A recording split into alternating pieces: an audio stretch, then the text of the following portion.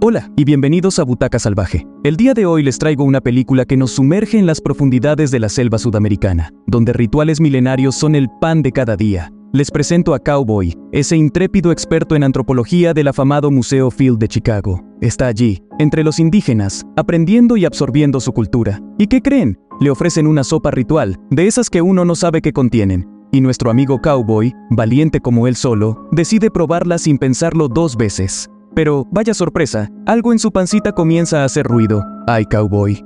Bueno, el reloj avanza y Cowboy necesita enviar sus descubrimientos a Chicago. Se encuentra con el barco que, en teoría, debería ayudarle en su misión. Se lanza, sin temor, hacia el capitán para convencerlo de transportar su valioso cargamento. Pero, oh no, el capitán no está para bromas y le suelta un rotundo no en la cara, argumentando que está retrasado. ¡Qué desfachatez! Pero amigos, nuestro cowboy es astuto y, aprovechando un segundo de distracción, se cuela al barco como todo un ninja. Sin embargo, la vida le da otra sorpresa y nota que su tesoro ha desaparecido. Pobre cowboy. Ahí lo tienen, atrapado, mientras el barco zarpa desde la exótica Brasil. ¿Han oído hablar de barcos fantasmas? Pues en esta película, uno de esos ha llegado a las heladas aguas del lago Michigan. Imaginen la sorpresa cuando las autoridades encuentran un navío sin tripulación. Así que, como era de esperarse, llaman a nuestro detective estrella en homicidios. Porque sí, esto huele a crimen. El sargento, que siempre anda con su mirada sospechosa, acompaña al detective.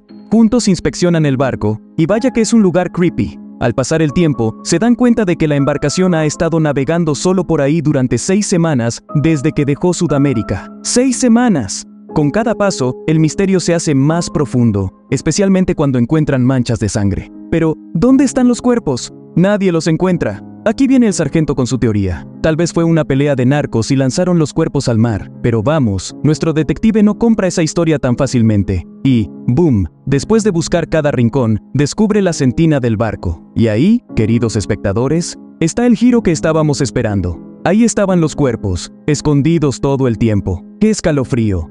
Margo, esa bióloga evolutiva con el cabello perfecto y una pasión inquebrantable por su trabajo, entra a su oficina esperando un día normal. ¿Pero qué va? Encuentra que uno de sus colegas, sí, uno de esos con los que comparte café y chismes, está compitiendo por la misma beca de investigación. ¡Qué traición tan grande! ¿Se lo imaginan? Ah, el drama. Sin perder tiempo, como toda protagonista decidida, Margo se enfrenta a él. ¡Qué tensión! Pero este colega no se queda atrás y le dice que tiene todo el derecho de competir por el financiamiento. Y Margo, con lágrimas en los ojos, le advierte sobre las consecuencias para su equipo si él gana. Ah, el dolor. Con el corazón roto, se va de la oficina. Pero no todo está perdido. Su mentor, siempre sabio y en su apoyo, le cuenta que las cajas que Cowboy, recuerdan a Cowboy, ¿verdad? Había enviado han llegado finalmente. Pero sorpresa, en lugar de un barco, llegaron por aire, y cuando las abren, más sorpresas. Están prácticamente vacías. Lo único que encuentran es una estatua del Kotoga, ese ser mitológico que les da escalofríos. ¿Podría ser real? El mentor sugiere que tal vez hay un pacto oscuro detrás de todo esto. Pero Margo, siempre con los pies en la tierra, decide investigar un hongo encontrado en esas misteriosas hojas. Ahora imagínense el museo oscuro, silencioso, y, de repente, una sombra se mueve. Ahí estaba un pobre guardia de seguridad, buscando un minuto de tranquilidad en el baño. Grave error. Siente que alguien entra y quiere saber quién es, pero no recibe respuesta. Y de repente, ¡zas! Una criatura lo agarra y lo arrastra. No, el pobre guardia sufre un destino similar al de los desafortunados del barco. ¡Qué horror! Al día siguiente, la noticia del espeluznante asesinato corre por el museo y nuestro querido detective, que ya está bastante metido en todo este misterio, regresa a la escena del crimen. Ahora con su semblante serio y decidido. Está listo para interrogar a todos. Nadie escapa a su radar. Y ahí está nuestra protagonista, la inteligente Margo, que tuvo la mala suerte de ser la última persona que abandonó el museo esa noche. Se presenta en el lugar, preocupada y nerviosa. Mientras espera para hablar con el detective, el silencio se ve interrumpido por una imagen aterradora. Justo en el momento en que entra al área del crimen, ve el cuerpo del guardia. Y chicos, está decapitado. Recuerden, Margo lo conocía, charlaban, quizás compartían algún café. El terror se apodera de ella al ver a alguien tan cercano en ese estado. Uf, esto se pone cada vez más intenso. En medio de todo el caos, el detective toma la decisión de que la sangre esparcida por las paredes necesita un análisis a fondo. Está súper convencido, y les apuesto a que yo también lo estaría, de que el asesino anda todavía rondando por el museo. Así que, ¡pum!, decide que nadie entra ni sale del lugar hasta que él y su equipo terminen de investigar. Luego, como en toda buena película, hay conflicto. Se acerca a la directora del museo, que por cierto está flanqueada por el jefe de seguridad, y le suelta la bomba. El museo no abrirá hasta que todo esté más claro que el agua. Y claro, como era de esperarse, la directora intenta argumentar. Les habla de una exposición ultra importante que se viene y de toda la plata que los patrocinadores pondrán. Hasta suelta el dato de que el alcalde piensa darse una vuelta. Pero amigos, el detective no se mueve ni un centímetro en su decisión. ¡Qué tensión!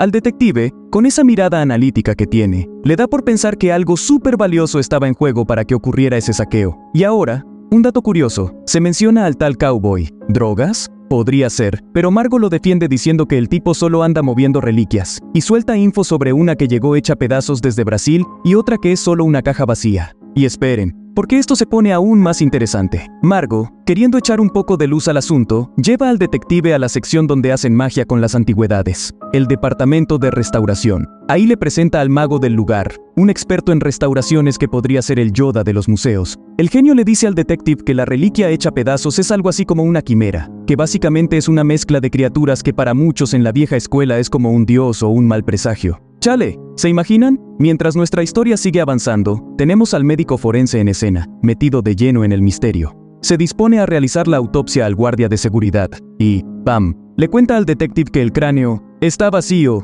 Algo o alguien ha dejado sin cerebro a este pobre guardia. Por favor, demuéstrame con un like y un comentario que te agrada el video, y me ayudarás bastante. Gracias. Por otro lado, Margo, que no se queda atrás en descubrimientos locochones, da con algo súper raro, un hongo con hormonas de diferentes animalitos.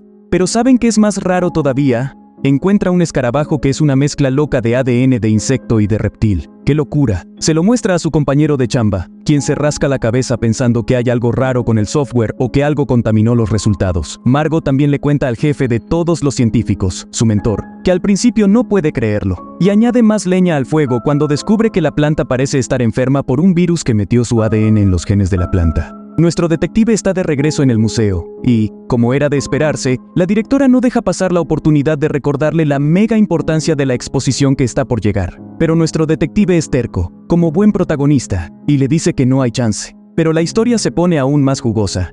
En el sótano del museo, más oscuro que una noche sin luna, dos polis descubren un rastro de sangre. Y de repente, ¡bam! Una criatura sale de las sombras y se va encima de ellos. Menos mal que reaccionan a tiempo y disparan. Al final resulta ser un ex convicto, loco de remate, que además tenía la billetera del guardia y un hacha. Con esas pruebas, todo el mundo, menos nuestro intrépido detective, quiere dar carpetazo al caso. Ay, chavos, no saben lo convencido que está nuestro detective de que todo esto no es cosa de un simple indigente. ¿Se imaginan? Es como pensar que un ratón pudiera mover una montaña. Para él, no tiene sentido que este tipo anduviera recolectando hipotálamos, o, más loco aún, que haya abordado un barco solo para darle fin a todos los que estaban allí. Y, por si fuera poco, todavía sigue con la idea de no hacer la gala. Pero, oh sorpresa, le cae una llamada del mismísimo alcalde, felicitándolo por su gran labor, y prácticamente obligándolo a que la exposiga. ¡Qué presión! Aunque parece que le ganaron el round, nuestro detective no se da por vencido. Y por otro lado, tenemos a Margo y su mentor, que siguen en su rollo de investigar. Y boom, descubren que el asesino anda detrás de unas hormonas que se encuentran en unas hojitas.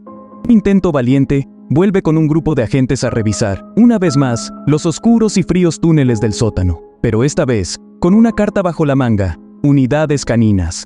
Esos túneles esconden algo, lo saben por el olor inconfundible que les guía. Pero, en un giro que nadie veía venir, una criatura invisible surge de la nada, dejando tras de sí un rastro de caos y desolación, acabando con la vida de un oficial K9 y un valiente perro policía. Justo después de ese escalofriante ataque, el detective, con voz firme y rostro serio, ordena al sargento evacuar todo el museo. Puedes imaginar la urgencia en los ojos del sargento mientras se dirige al salón principal, cada segundo cuenta. Por otro lado, y en un contraste casi irónico, el alcalde está en el medio de su discurso inaugural, completamente ajeno a lo que está pasando. Y aquí te presento a Kotoga, esa criatura escalofriante que Cowboy había transportado. Puedes imaginarlo, un salón lleno de gente, todos atentos al alcalde, y prácticamente nadie sabe que están compartiendo espacio con un ente sumamente peligroso. La tensión sube de nivel cuando el sargento, armado y preparado, corre hacia el alcalde. Los murmullos de la multitud se convierten en gritos de pánico. Sin perder tiempo, le informa al alcalde sobre la amenaza y le pide que todos evacuen. Pero antes de que puedan siquiera procesar lo que está sucediendo, un macabro giro. El cuerpo decapitado de un oficial cae en medio de todos, causando un caos absoluto. En ese pandemonium, las alarmas del museo retumban y el sistema de seguridad, en un giro cruel del destino, falla. Ahora, algunas personas, incluyendo al alcalde, están atrapadas. Imagina el terror, luces parpadeantes, alarmas sonando, y la certeza de una amenaza acechando. Dos valientes guardias de seguridad intentan resolver el problema, pero son víctimas de la criatura. Aquí está el dilema. El jefe de seguridad dice que necesitan reiniciar todo el sistema informático para solucionar el problema con la puerta cortafuegos. Pero en este escenario de horror, eso parece un sueño lejano. Así que el sargento, con ese pragmatismo que lo caracteriza, sugiere una alternativa, las escaleras de emergencia que conducen al túnel. Aunque uno pensaría que cualquier persona en su sano juicio seguiría las indicaciones de evacuación, el alcalde, con ese aire autoritario y de autoimportancia, decide quedarse esperando a la policía. En un giro inesperado, el detective, a través de la radio, le informa que ha cedido el mando al sargento. Y ojo, le insiste al alcalde que haga exactamente lo que el sargento le diga. Ahora, imaginemos al sargento, con esa determinación imponente, pidiéndole a todos que se mantengan detrás de él mientras busca una ruta de escape, juntos y en silencio, insiste, mientras se dirigen al túnel. Por otro lado, en una escena de pura adrenalina, el detective logra entrar al laboratorio donde Margo y su mentor están acorralados. Y de repente, el terror se materializa. El Kotoga. La criatura indescriptible y aterradora intenta entrar, pero con ingenio y rapidez logran cerrar la puerta con una barrera de acero. El detective, con los ojos llenos de miedo y confusión, exige respuestas. Margo, con su conocimiento científico, revela un dato inquietante. Un hongo es el causante de todo, habiendo mutado una criatura más pequeña. Y si eso no fuera lo suficientemente espeluznante, el mentor de Margo suelta una bomba. En ausencia de sus alimentos normales, este Kotoga buscará el hipotálamo humano. Horror puro. Además, nos cuenta una historia fascinante y sombría sobre una tribu que utilizaba este hongo para eliminar amenazas, esperando a que el monstruo acabara con el peligro y luego muriera de hambre. Margo y el detective, en un gesto heroico, toman la decisión de regresar al corazón del peligro, sí, al mismísimo laboratorio. Quieren encontrar una solución, un arma, algo que les permita dar caza a la bestia antes de que acabe con todos. El mentor, con ese toque de noble sacrificio, decide quedarse atrás, quizás sintiendo que su velocidad podría detener a los dos jóvenes. Mientras esto sucede, el jefe de seguridad, en un intento valeroso, intenta tranquilizar a los presentes. Les dice con seguridad que todo saldrá bien y que atrapará al monstruo. Pero oh, la sorpresa y el horror. El Kotoga lo toma desprevenido. En un acto que nos dejará sin aliento, lo ataca y ¡zas! Adiós jefe de seguridad. El desastre continúa, y, en un abrir y cerrar de ojos, aquellos que quedaban, incluidos los benefactores, son aniquilados. No hay rincón seguro en ese museo. Como si eso no fuera suficiente, llega la policía, esperanzadora, bajando desde helicópteros por las claraboyas. Pero amigos, el destino les tenía preparada una sorpresa. Son presa fácil para la bestia. Ahora Margo, con su mente científica, propone un plan brillante. Nitrógeno líquido, Dado que la criatura tiene una genética reptiliana, puede ser de sangre fría. Eso podría ser la clave para congelarlo y acabar con esta pesadilla. Y mientras buscan las hojas necesarias, el detective encuentra algo que nos romperá el corazón, el cuerpo del mentor. Esa trágica visión sume amargo en un abismo de dolor. Mientras tanto, en las oscuras y húmedas cloacas, ahí está el sargento, manteniendo la comunicación con el detective cuando, ¡boom!, un oficial desaparece sin dejar rastro, tragado por el tenebroso Kotoga. Sorpresa tras sorpresa, otro invitado se convierte en víctima, y el miedo se esparce como polvo entre los presentes. Luego, un escalofriante silencio. ¿Se habrá ido la bestia? Pero, oh sorpresa, el ingenioso detective tiene un as bajo la manga. Utiliza esas hojas misteriosas para distraer a la criatura, dando una oportunidad de oro a los invitados para huir. Y justo cuando todo parece ir bien, cuando el Kotoga está al alcance de Margo, ella intenta con el nitrógeno líquido, pero, ay, no funciona. Sin perder tiempo, nuestros héroes corren por sus vidas. El valiente detective toma posición, decidido a proteger el laboratorio. Y mientras Margo, en su santuario de ciencia, revela un giro inesperado de la trama. La bestia es en realidad Cowboy, transformado por esa sopa maldita. El Kotoga destroza el techo y persigue a Margo con un hambre voraz. Pero hay un momento, un segundo eterno, donde parece reconocerla. Margo, con valentía, enfrenta a la criatura y cuando parece que es el fin, ¡kaboom! Desata un fuego explosivo y escapa por el elevador.